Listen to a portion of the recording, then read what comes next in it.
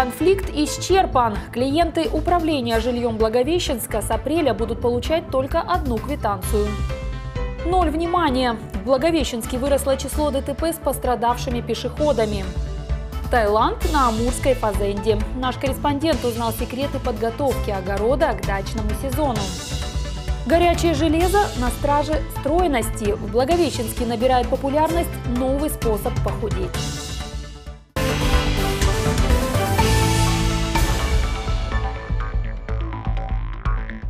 Об этом и не только расскажем уже через несколько секунд. Добрый вечер, вы смотрите новости информационного агентства «Город». В студии Елена Хахулина.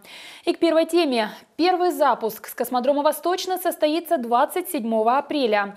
Дату выбрала Государственная комиссия. «Союз-2.1А» отправится в космос в 11 часов 1 минуту по амурскому времени.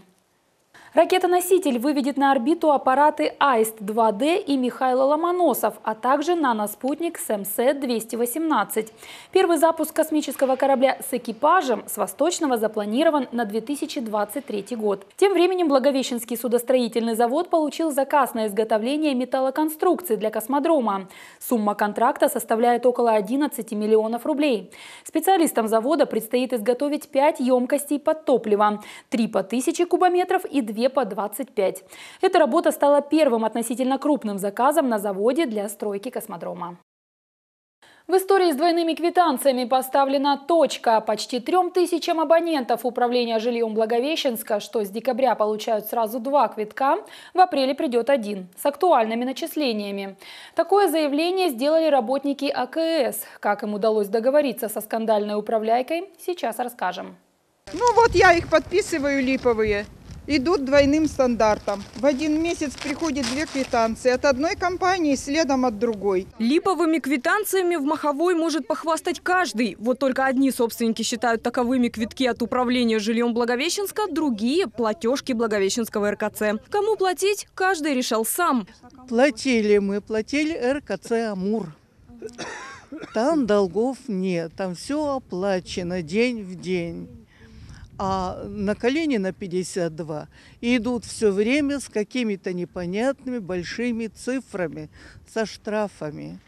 Чувствовать себя должником, когда ты оплатил все, э, очень неприятно.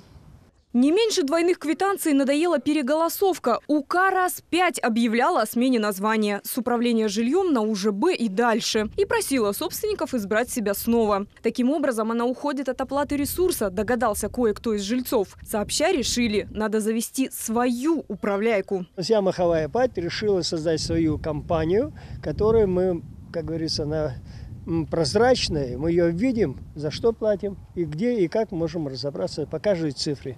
С цифрами, что уже выставлены, собственники решили поступить жестко, оспорить в суде. Хотя это может и не понадобиться вовсе. АКС объявили, сука удалось наладить диалог. Не имея договора на поставку ресурса, она больше не будет выставлять за него счета. Все, что задолжала, управляйка вернет. А еще предоставит данные об исправно плативших абонентах. Потребители, которые э, оплачивали в УЖБ, они нам, э, долги им выставляться не будут но э, те потребители, конечно, которые не оплачивали э, ни АКС э, через квитанции благ РКЦ, ни управляющей компании, конечно, долги будут взыскиваться. Вопросы по начислениям можно задать в РКЦ и самой УК. Ее подход к вопросу изменился радикально, считают ВКС, благодаря новому руководителю. Общаться с прессой лично он не желает, но по телефону заверил, помочь собственникам теперь готовы и в самой управляйке.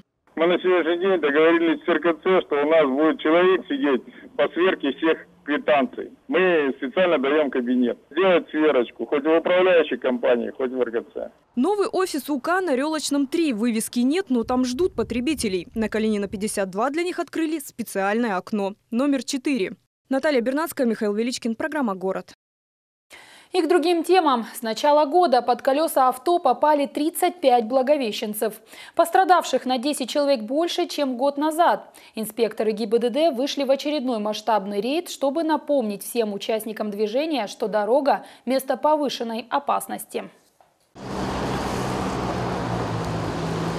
Перекресток улиц Ленина и Пушкина часто мелькает в сводках ДТП, поэтому инспекторы отправились сюда в первую очередь. Нарушителя долго ждать не пришлось. Машина подрезает маму с ребенком на зебре, на глазах полицейских. За рулем автоледи цыганской внешности. На ломаном русском объяснила, сильно спешит. Пришлось задержаться для составления протокола. Итог – штраф полторы тысячи рублей. В ходе рейда 60 инспекторов охватили два десятка наиболее опасных перекрестков и пешеходных переходов. 12 водителей оштрафовали.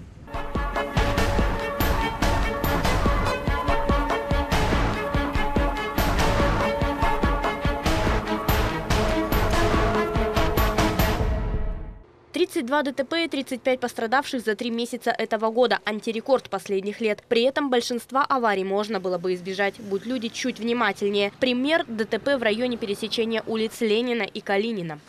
При повороте направо водитель автомобиля не пропустил женщину 47 -го года, которая шла на разрешающий зеленый сигнал светофора, совершил на нее наезд. В результате женщина с травмами была доставлена в лечебное учреждение. То есть э, при повороте направо данному водителю прекрасно было все видно, но по какой-то причине он отвлекся на что-то постороннее, и чему, как говорится, способствовало совершению ДТП. Пешеходы тоже игнорируют правила. Яркий пример – улица Институтская, район общежитий Амгу. До зебры и светофора несколько десятков шагов, но пара спешит по диагонали, прямо по дороге, на перерез машинам. Штраф 500 рублей. Ну мы же смотрим, у нас глаза же есть. Нету машин, мы пошли. За переход дороги в неположенном месте за один только вечер наказали 60 благовещенцев. Наталья Спицына, Андрей Белый, Вадим Акимов. Программа «Город».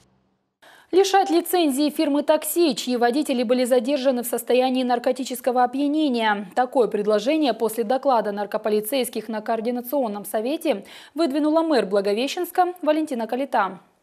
Сотрудники наркоконтроля доложили, из 248 административных протоколов в прошлом году 115 составили на водителей. Большая часть из них – работники такси. Я думаю, что вот раза два объявить, какое такси, в каком такси сегодня можно встретиться с таким водителем. И я думаю, сразу такси это очень оперативно изменит и свою работу, и людей будет подбирать качественнее. Наркоситуация в столице Преамурья оценивается как тяжелая, но не критическая. На 100 тысяч населения в Благовещенске 262 наркозависимых. Это меньше, чем в среднем по области. Почти половина из тех, на кого заведены уголовные дела – молодежь от 18 до 29 лет. Мэр города дала поручение начальнику управления по делам молодежи взять этот вопрос на контроль.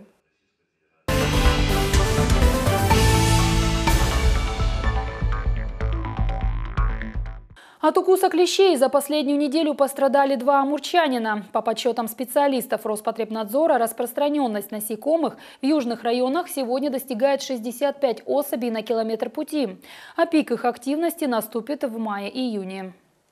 К этому времени специалисты планируют провести акарицидную обработку 260 гектаров зеленых зон, территорий вблизи загородных лагерей и кладбищ. Однако выезжающим за город следует соблюдать все меры предосторожности, носить закрытую одежду, высокие сапоги, пользоваться репеллентами.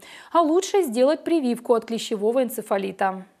Вообще у нас прививки ставятся круглогодично против клещевого энцефалита. Единственное, сейчас, конечно, будет применяться уже экстренная схема, когда интервал между прививками – от 30 до 14 дней, но необходимо помнить, что иммуни... на выработку иммунитета необходимо время. Избегать посещения лесов необходимо в течение двух недель после повторной прививки. Именно столько организм будет вырабатывать антитела, готовые противостоять энцефалиту. В прошлом году им заразились четверо амурчан, в том числе один благовещенец. Численность другого вредного насекомого, 28-точечной божьей коровки, в этом году, напротив, будет ниже, чем обычно. Этому поспособствовала малоснежная зима. Сказалось небольшое количество осадков и на качестве почвы.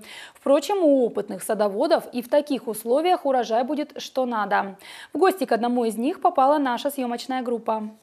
Ну, жаркий день, там, если туда засунуть руку, чувствуется прямо жар. Как будто у тебя рука оказалась в Таиланде. Огородные тропики опытный аграрий Павел Жирнов сооружает из обычной пленки. Под таким покрывалом свежие стрелы лука-батуна появятся на столе максимум через две недели. Главное, чтобы все было герметично. А вот на грядках проникновение воздуха наоборот приветствуется. Поэтому, как только с земли сошел последний снег, огородник берется за барану.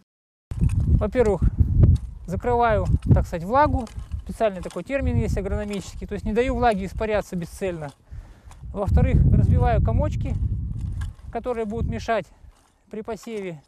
А в-третьих, выравниваю грядку. Кстати, в нашей области землю лучше пахать с осени. Тогда весной получится быстрее зайти на грядки и дождаться урожая. А чтобы он радовал не только овощами, но и ягодами, нужно поторопиться. Открываем рано деревья, почки еще не открыты, и они откроются тогда, когда им нужно будет, когда будет на улице достаточная температура. Если же растение передержать в укрытии, то почки могут распуститься раньше срока, и ягод от черноплодки или смородины тогда не дождаться. Благо на даче у Павла кустарники еще спят, а вот иные обитатели уже проснулись. Червячок уже первый, живой такой, веселый. А чтобы почва была комфортной не только для червей, но и для растений, огородникам лучше позаботиться об этом заранее. Все растительные остатки, которые вы сейчас будете выбирать на своем участке, нужно обязательно компостировать.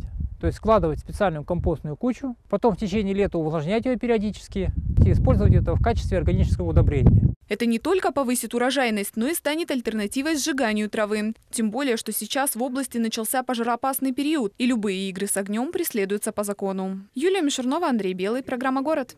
В пятницу благовещенцы встретят автопробег «Звезда нашей Великой Победы». Сегодня его участники стартовали сразу из пяти точек страны – Архангельска, Бреста, Севастополя, Дербента и острова Русский.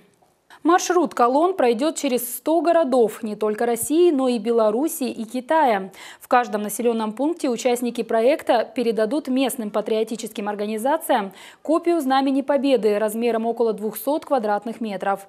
Путешествие займет около месяца. Планируется, что в Благовещенске участники автомарша окажутся вечером 8 апреля, а 9 состоится торжественная церемония передачи Преамурью Знамени Победы. В этот же день участники отправятся в соседний город город Хэйхэ. Завершится автопробег 6 мая на Поклонной горе. Актеры театральной студии «Этюд» получили диплом лауреата первой степени на международном фестивале-конкурсе детского и юношеского творчества. Он прошел в Санкт-Петербурге в 19 раз. Лучшим в номинации «Драматический театр» жюри фестиваля признало спектакль этюдовцев «Мы в апреле 45-го». За игру в этом же спектакле актер Саша Булычев получил спецприз жюри «Диплом за искреннее исполнение роли». Кроме того, две юных актрисы театральной студии Диана Серебрякова и Елизавета Елфимова завоевали дипломы второй и третьей степени за чтение стихов в номинации «Театральное творчество. Художественное слово. Соло». Вернуться в Благовещенск победители 9 апреля.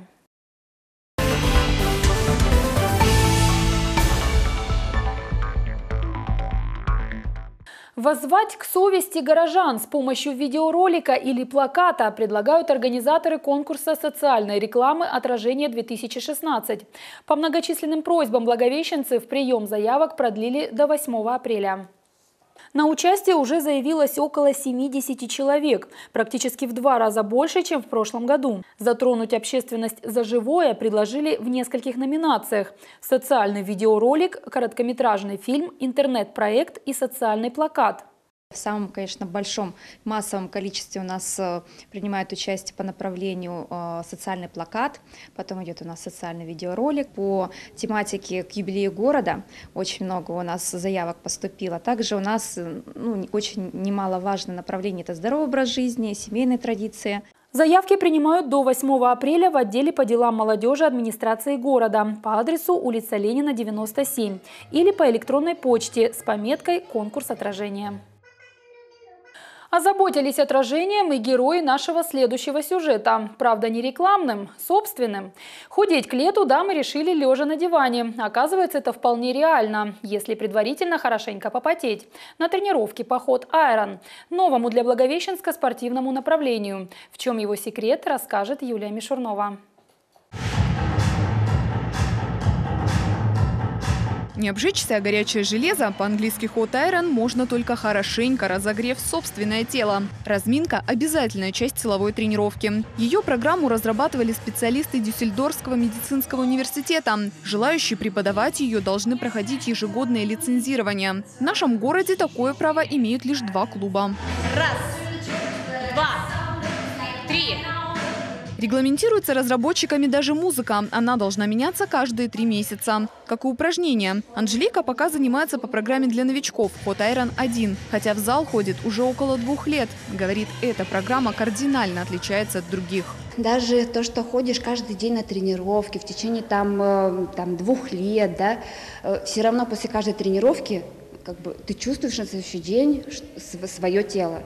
После Хотайрона у меня был у меня был вообще э, стресс у организма. У меня болело все, не знаю, от макушки до пяток. Вот только желающим похудеть такой стресс на пользу. После силовых тренировок снижение веса отмечают даже те, у кого лишние килограммы ни в какую не хотели сдаваться. За месяц можно скинуть смело от 3 до 5 до 6 килограмм, при этом уменьшиться в объемах, э, сжечь именно жировую прослойку. Но здесь единственная разница, в отличие от других тренировок, мы сжигаем не во время тренировки, это силовой э, фитнес. Здесь мы во время тренировки максимум 10-20 калорий, а как раз таки начинается мышечное восстановление, и после этой тренировки идет до 1000 калорий. И что самое приятное, перекус после занятий Hot Iron необходим. Кусочек рыбы или курицы поможет организму найти силы для процесса восстановления, чтобы тело радовало не только стройностью, но и рельефом. Юлия Мишернова, Михаил Величкин, программа «Город». Стога сена, лошади и казаки. О жизни на Дону рассказывают полотна благовещенского автора, заслуженного художника России Сергея Попова. Экспозиция, вместившая более шести десятков картин, открылась в Кровеческом музее в канун 60-летия художника. Автопортреты, портреты, пейзажи и графика. Все работы выполнены в разных техниках. Однако объединяет их одна общая тема – это жизнь казачества. На полотнах деревенский быт, дети и жены казаков, их трепетная вера в Бога. При создании картин автор много работал с архивными материалами. Ярко видно это в цикле, посвященном первому сплаву казаков на Нижний Амур. Впрочем, большую часть творчества занимают все же личные воспоминания художника. Автор в основном работает в историческом жанре, описывая жизнь казаков. А так как он является э, донским казаком, он э, родился и вырос на Дону. Выставка «Живопись» — это признание э, в любви автора к малой родине, к своей и к людям, с которыми он живет, Творчество Сергея Попова все желающие могут изучить в ближайшие две недели. Выставка будет работать до 20 апреля, а после картины останутся в фондах музея. Художник решил все до одной подарить хранилищу истории. На этом наш выпуск подошел к концу. Я с вами прощаюсь и напоминаю, с новостями города вы можете знакомиться на сайте tvgorod.rf. В редакцию новостей звоните по телефону 52 42 02. Приятного вам вечера. До встречи в эфире.